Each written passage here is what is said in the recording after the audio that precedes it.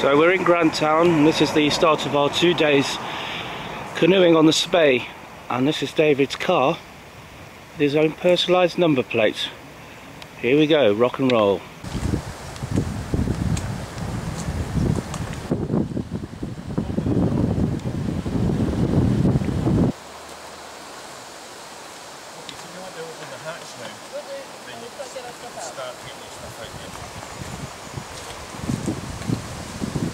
So this is our lunch break. We've just had a, a, dramatic incident which Mary will lead you through later this evening. But we feel we're lucky to be alive, don't we Mary? We certainly do.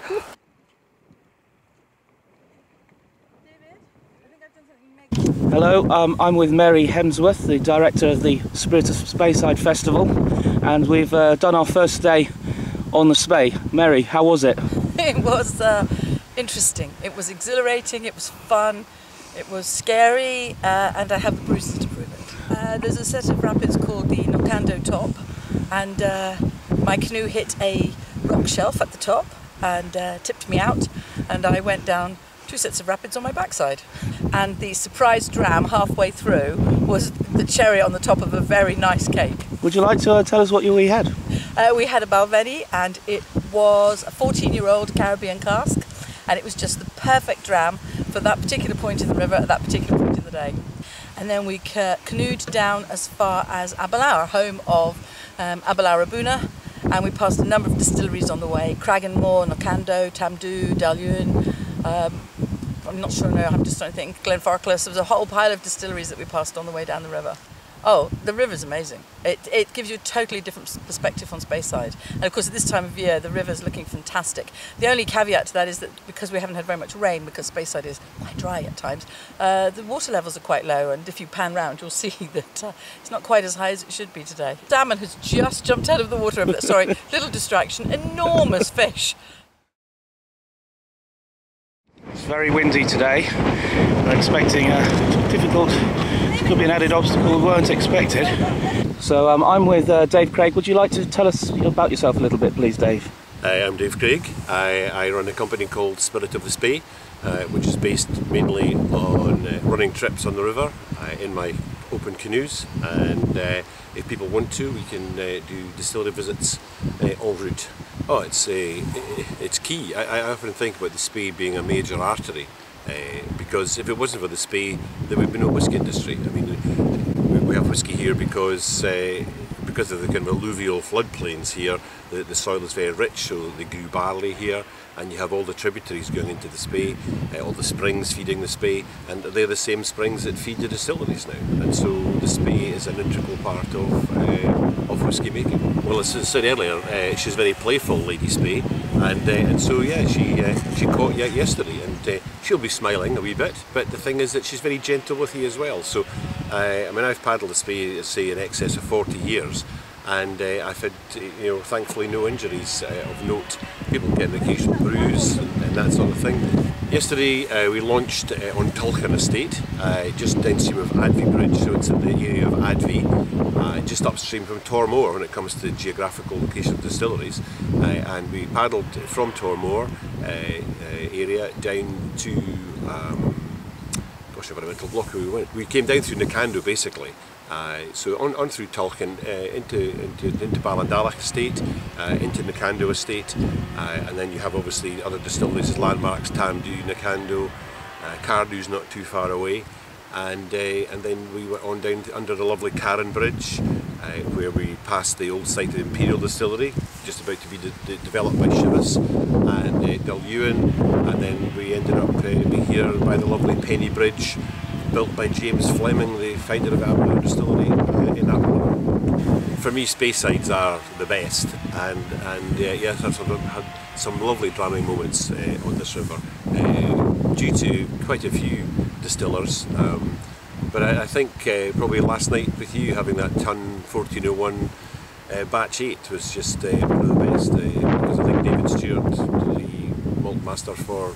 Balvenie, is such a genius. Yeah. And I may have a bias here, but certainly I think his Tun 1401s have just been absolutely superb. So that whisky moment with you last night was uh, was probably one of these great moments. Well, we've done it. We've finished, and here we are at Spey Bay, and I'm with Mary. Today was excellent, brilliant. I didn't get wet, so all in all, it was a very good day. The canoeing today was really good. Uh, there was some nice long rapids, but nothing, you know, big, no big boulders. Um, some technical, very technical rapids, but other than that, beautiful, beautiful scenery, beautiful, long, long, very still straights. So really good. And uh, Well, we actually started at Aberlour, my apologies, Aberlour, and then down through past the Lovey Telford Bridge at Craigellachie, uh, and then on through many of the, the best estates, in fact, in terms of fishing, uh, estates such as Delfur, Rothes and Aikenways, uh, and so on. Uh, past Rothes in particular, which uh, in whisky terms is, is pretty important, given the fact that it is uh, at least uh, four still working distilleries, uh, including Glen Grant and Glenrothes and such. Uh, and then we went on down through uh, uh, where we have the world famous Baxter's Food Factory, and then uh, off to uh, just to lovely Spey Bay.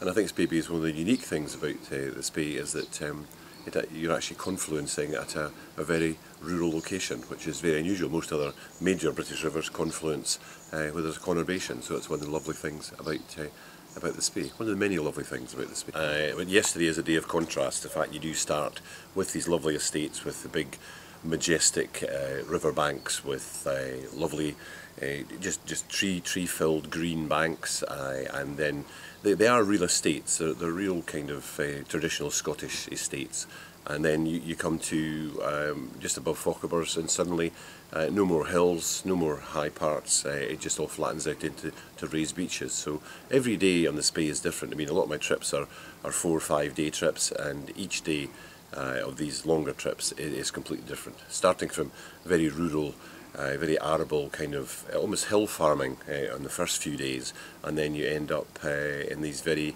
and sometimes manicured estates where they have kind of cut down trees and manicured the banks and such. Probably Macallan's one of the distilleries that's almost taking its uh, water from the main stem. I mean, people will be aware that that uh, none of the distilleries actually do, although they're called Speysides, no one actually takes their their uh, water from the main stem of the river. I think probably one of the distilleries taking water from a, a main stem of any of the tributaries is uh, Speyside here up uh, at Kingussie.